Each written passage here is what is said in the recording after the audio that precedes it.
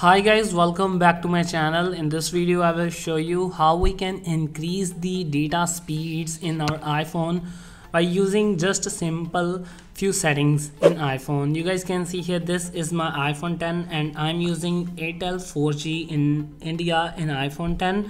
Uh, you guys can see here I'm getting two bars but in this video we are not getting we are this video is not for to increase the uh, network uh, bars it is for the to increase the data speeds. So let's start without any problem. Let's proceed. You guys can see here i will just perform some settings here. You need to follow that settings. Just go ahead to the settings firstly.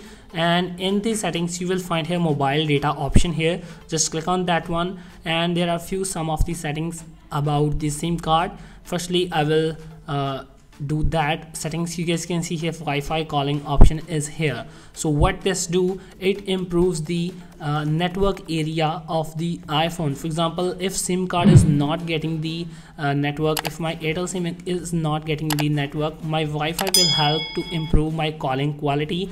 Or if my iPhone is on the no service I can receive my calls through Wi-Fi so this is the excellent feature apple is enrolling in the iphones.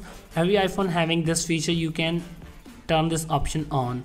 And second one option is go to the mobile data option settings here. You guys can see here make sure you note these settings very carefully. Here is the option vo voice and data. For the Jio connections it will automatically set on VoLTE on but if you're using Vodafone or any Airtel network your set will 4G VoLTE off make sure you set on 4G VoLTE on it will just improve the quality of voice calling or data speeds also.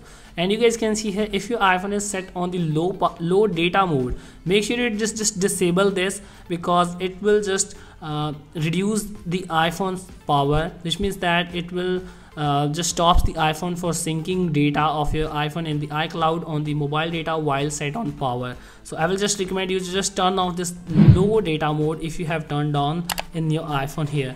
So I hope you will get the uh, best speed by using these settings. And second is that you have you have set the network selection on automatic that your iPhone will automatically select the networks for a, the SIM cards which means that it will select the best preferred network it can get through the iPhone here. So make sure to set this on the automatic in the network selection mode. And you guys can see here these are the best settings that you can get the best speeds in the Airtel network or any Jio network.